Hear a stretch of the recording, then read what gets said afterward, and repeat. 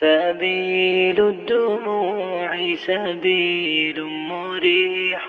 تنهد يا صاحي كي تستريح. وغصن الدعاء الخفي الصريح. يسعك الفضاء الرحيم الفسيح مختار کل سب کے سب اختیارات صرف اللہ کے پاس آج کتنے انسان ہیں وہ کبھی کسی کو مختار کل کہہ دیتے ہیں، کبھی کسی کو کہہ دیتے ہیں۔ اور قرآن کیا کہتا ہے؟ اللہ رب العزت فرماتے ہیں، قال رب أنا يكون لي غلام وقد بلغني الكبر وامرأتي عاقر قال كذلك الله يفعل ما يشاء.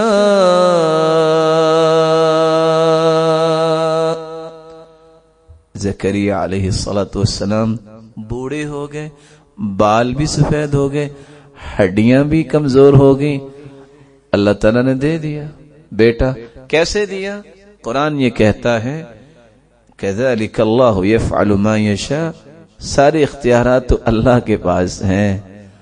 اللہ جو چاہے کر سکتے ہیں، یہ اسباب کی دنیا میں ہم رہتے ہیں۔ وہ مسبب الاسباب۔ وہ اسباب کا محتاج نہیں۔ وہ چاہے۔ تو بغیر ماں باپ کے آدم کو بھی تو بنا دیا تھا نا۔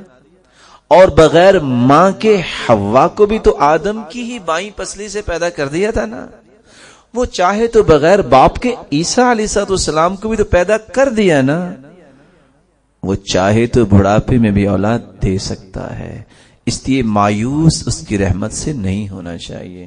اللہ رب العزت ہی مختار کل ہیں۔ اللہ کے علاوہ کوئی مختار کل نہیں۔ زندگی اور موت صرف اللہ کے ہاتھ میں۔ بہت سارے لوگ اپنی موت سے ڈرتے ہیں۔ اور سچی بات یہ ہے کہ موت جس دن آنی ہے وہ آنی ہی آنی ہے۔ سلیمان علی سات والسلام بیٹھے تھے اپنے وزراء کے ساتھ تو ملک الموت آ گیا۔ تو ایک وزیر کانپنے لگ گیا۔ وہ چلے گئے۔ بعد میں پوچھا، کیا ہوا؟ کہتا، مجھے خوف آ رہا ہے، مجھے بوماس جزیرے میں پہنچا دیجیے۔ ہوا کو حکم دیا، فسخرنا له الريح تجري بأمره رخاء حيث أصاب۔ ہوا کے تخت پہ بٹھایا اور اس کو بوماس جزیرے میں پہنچا دیا۔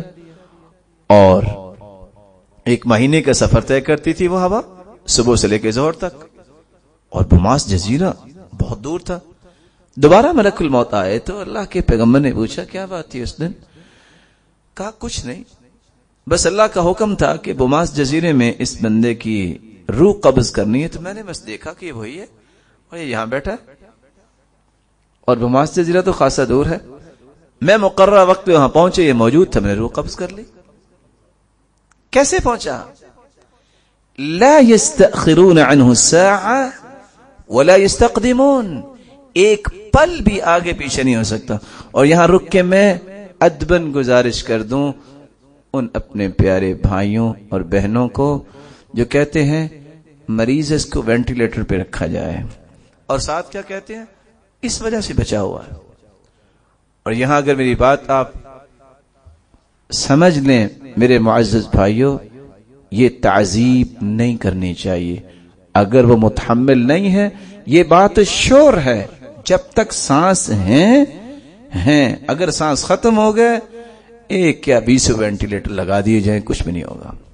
لیکن حدیث کہتی ہے، لا تجبروا مرضاکم علی الدواء بیماروں کو دوائی پر بھی مجبور نہ کرو، تکلیف نہ دو۔ اور آپ سمجھتے ہیں کہ اس کا کتنی تکلیف ہوتی ہے؟ اس لیے بہتر یہ ہے، آپ اس کو دم کرو، آپ اس کے لیے دعا کرو۔ سبب ہے، ڈاکٹرز کو پتا ہوتا ہے کہ اس وقت پوزیشن کیا ہے، اپنے تجربات کی روشنی وہ کہہ دیتے ہیں، لیکن اتنا زیادہ کسی بھی بیمار کو تکلیف نہیں دینی چاہیے۔ اور اگر اس یقین کے ساتھ انسان کرتا ہے کہ شاید اس نے سانس بچائے ہوئے ہیں، یہ بہت بڑا گناہ بھی ہے۔ کہ اس نے اللہ کے علاوہ اس کو سمجھ لیا کہ زندگی بچائے ہوئے ہے اللہ رب العزت ہمیں سرات مستقیم عطا فرمائے۔ اور قرآن مجید میں اللہ رب العزت فرماتے ہیں، قل أرأيتم إن أهلكني الله ومن معي أو رحمنا؟ فمن يجير الكافرين من عذاب أليم. اے میرے پیارے پیغمبر، آپ خود فرما دیجیے لوگوں تمہارا کیا خیال ہے؟ اگر اللہ مجھے بھی اور میرے ساتھ جتنے لوگ ہیں، سب کو اپنے پاس بلا لے، فوت کر دے یا رحم کرے، تو کر سکتا ہے نا؟ اگر میرے ساتھ جتنے لوگ ہیں صحابہ اور مجھے بھی اپنے پاس بلا لے، تو کافروں کو کون بچائے گا؟ میں پیغمبر ہوں، مجھے بھی اللہ کے پاس جانا ہے۔ ان کے میں یہ تن و ان میں یہ قرآن کہتا ہے، اے میرے پیارے پیغمبر، آپ نے بھی میرے پاس آنا ہے اور ان کو بھی موت آنی ہے۔ تو میں نے بھی جانا ہے۔ اور عیسیٰ علیہ سلاۃ والسلام کے بارے میں قرآن نے کیا حقیقت کھولی ہے؟ قل فمن يملك من الله شيئا إن أراد أن يهلك المسيح ابن مريم وأمه ومن في الأرض جميعا اے میرے پیارے پیغمبر آپ فرما دیجئے اگر عیسیٰ علیہ سات وسلام اور ان کی والدہ اور روئے زمین پر جتنے بھی لوگ ہیں سب کو اللہ ہلاک کر دے تو کون ہے؟ وہ اللہ کا ہی اختیار ہے۔ کسی اور کے پاس اختیار نہیں ہے۔ یہ موت اور زندگی اللہ کے ہاتھ میں ہے۔ کسی کے ہاتھ میں نہیں ہے۔ آپ نے دیکھا ہوگا کہ فوت ہو جاتے ہیں اور کتنے لوگ مدتوں بیمار رہتے ہیں، پھر بھی فوت نہیں ہوتے۔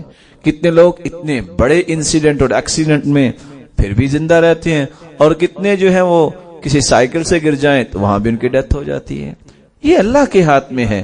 اس لیے یقین یہ کر لینا کہ زندگی اور موت اس کی تدبیر اللہ کرتے ہیں۔ کوئی اور نہیں کرتا۔ میری اللہ سے دعا ہے۔ اللہ تعالیٰ ہمیں یہ باتیں سمجھنے کی توفیق عطا فرمائے۔ یہاں دو باتیں اتفاق سے توحید ربوبیت کی ابھی بھی باقی رہ گئی ہیں۔ ہم چونکہ نماز کا وقت ہو گیا ہے، غالباً اوپر ہو گیا بھائی تو انشاءاللہ ہم آئندہ مجلس میں بقیہ گفتگو مکمل کریں گے۔ وآخر دعوانا الحمدللہ رب العالمین۔